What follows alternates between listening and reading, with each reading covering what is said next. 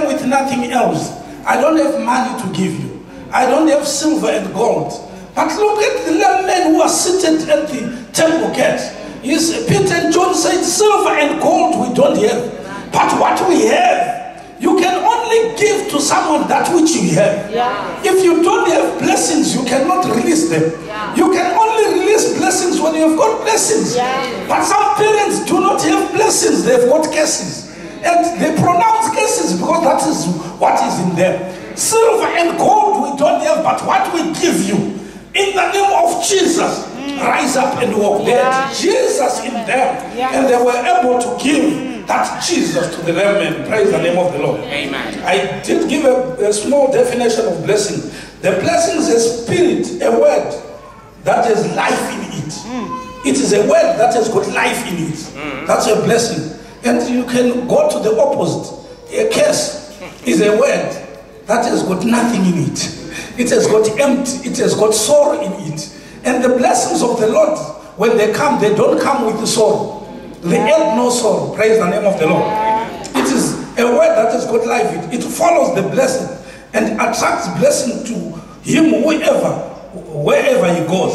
Success lives in the one with blessings. huh? And rejection lives in anyone that has got a curse. And I believe, children of God, you are not cursed, but you are blessed. Yeah. You are blessed in the city. You are blessed out of the city. You are blessed when you come in. You are blessed when you go out. You are blessed with your family. It's up to you to make a choice to bring a curse into your family. It's up to you to bring a curse into your workplace. But I am saying you are blessed. When you get into Australia, you are blessed. When you come out of Australia, you are blessed. When you get into Dubai, you are blessed. In every corner, you must be blessed. Praise the name of the Lord. Hallelujah. Success lives in the one with the blessing. That blessing is the blessing of the Lord. You see, some of the greatest blessings of the Lord are not tangible things, but richness in the heart. Is that right? Richness in the mind. When you are going to speak, you speak with a sound mind. Why do you speak with a sound mind? Because you have got the blessings of your parents. Praise the name of the Lord. Riches, even when you are a servant, yeah, when you are hardworking, ah, when you are in shifts, yeah, back to what we say, maricho. Yeah, when you are in shift, shifting, you have got the blessings of the Lord. Why do you have the blessings of the Lord? Because your father pronounced blessings on you. Praise the name of the Lord. Quickly, let's. I borrowed this from um, Rick Warren. Remember that your life here is only a temporal assignment, and that your internal assignment awaits you in heaven. So blessings do not come from the, the lesser to the greater. They come from the greater to the lesser. You can never be blessed by the lesser. You can only be blessed by the greater. Praise the name of the Lord. So children, when you are playing among yourselves, you cannot bless each other. You can only be blessed by your pastor. You can only be blessed fellow by your parents. You can't you can't say yourself in your way, lay hands on me. You are just playing. Murwita ma, ma, ma, eh?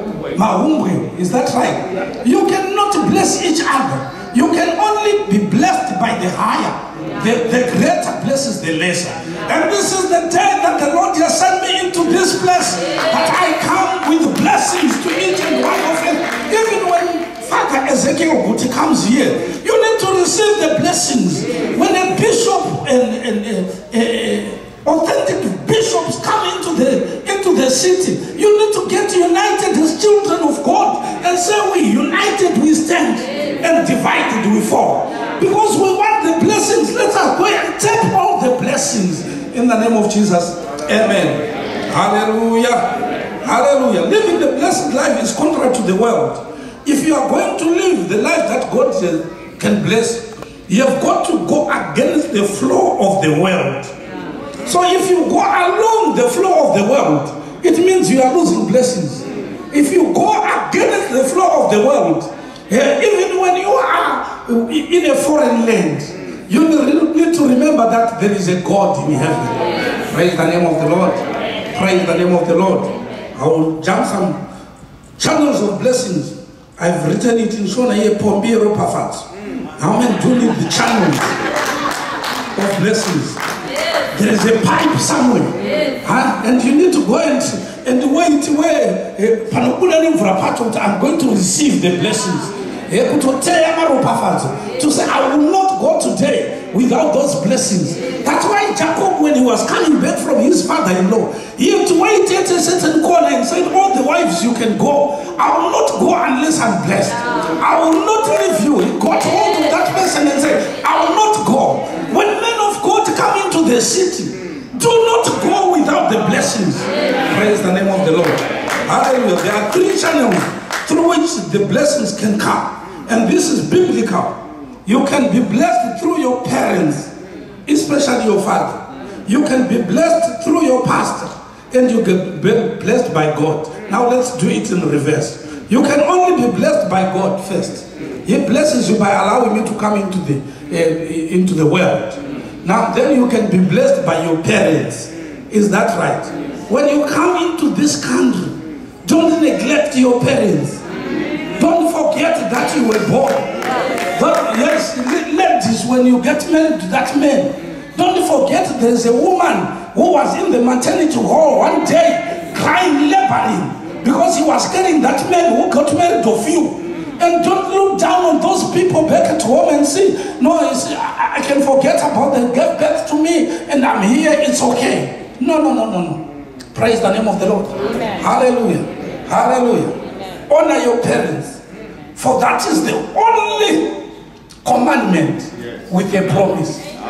Now we respect them, lift high on them. You know, you can't be putting on nice clothes, eating nice food when your parents are eating roots back at home. This is not the time that we look at our parents eating roots back at home and laugh at them. They are not educated. You are educated because your parents blessed you. You are you are who you are because God allowed you to be in this country.